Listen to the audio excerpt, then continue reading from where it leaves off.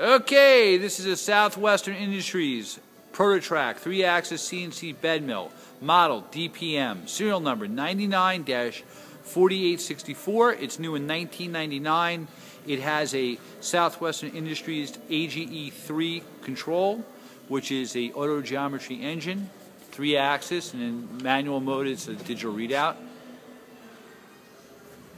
You have a Kurt power drawbar, a 40 taper spindle, and Sean's going to run around for you. First we're going to run the Y down as you see, nice and quiet, running it up. Show you it on the screen there that moves. There you go. When he moves the quill, it also counts and does the math for you. Takes it off, okay. Moving the Y axis. Again, nice and quiet. They're box ways, by the way, on the uh, vertical and uh, in and out.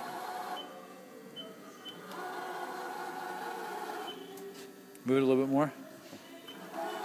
There you go. He's turning the spindle on. Low, low end of the high range.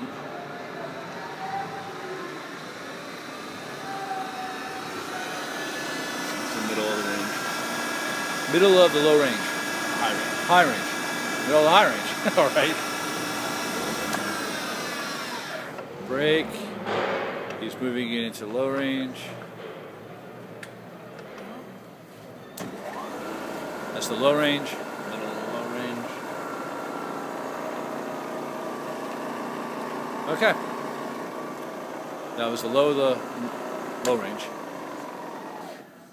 I'm going to show you the serial number over here. This is your automatic lubrication system. That's your serial number showing you it's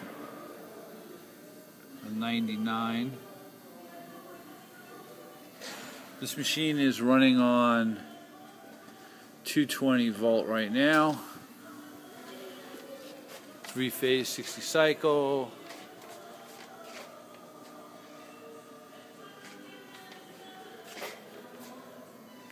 That's your air system.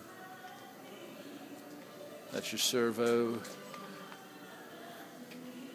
Okay, hey, thank you for watching the video of the TRAK DPM mill.